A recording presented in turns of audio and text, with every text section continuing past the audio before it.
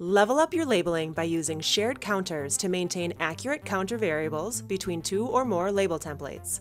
A shared counter allows you to set a simple or advanced counter that updates accurately across multiple templates when one of the templates is printed. Automating counters across label templates makes your labeling process more lean. So the way we're going to be demonstrating shared counters is with two labels that I've prepared for us here. The first being our toys label and the second being a chrono label. So I'll open those up for us so we can see what they look like.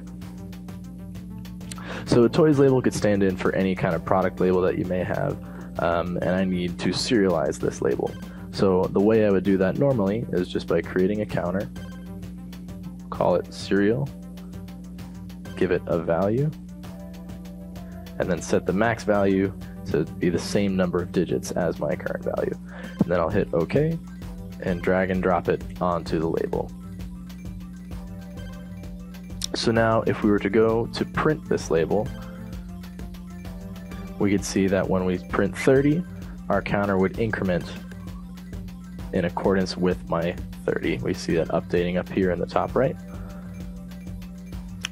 Now my challenge is I need to have this same value pushed over to another label. This uh, my chrono label shares the same serial number, uh, and it's kind of a pain to update both of them as soon as I print one label or the other. So the solution to that is a shared counter. I'll go ahead into the properties of my counter and just check this shared option here. Now what this does, it creates an external file that holds the value of my counter so that depending on what label I have open, it will pull that value. So I'll go over to my chrono label and create a counter here, call it serial. And as soon as I check the shared option, we'll notice that the value is pulled over from my previous label, which is my, uh, my toys label. Just make sure I match my digits here. And I can do the same thing. I can pull my value over just onto the label as a barcode here. I'll go ahead and save and close my chrono label and then go ahead and send off a print job from my toys label.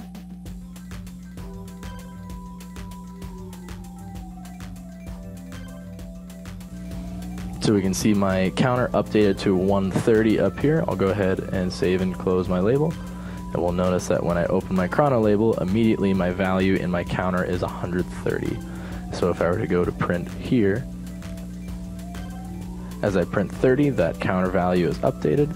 And if I were to close my label and reopen my toys label, that value is then brought in because they're using a shared counter, sharing the value between the two labels.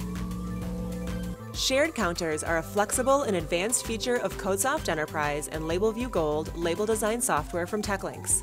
Level up your labeling today by downloading a free trial of CodeSoft or LabelView and building your first shared counter.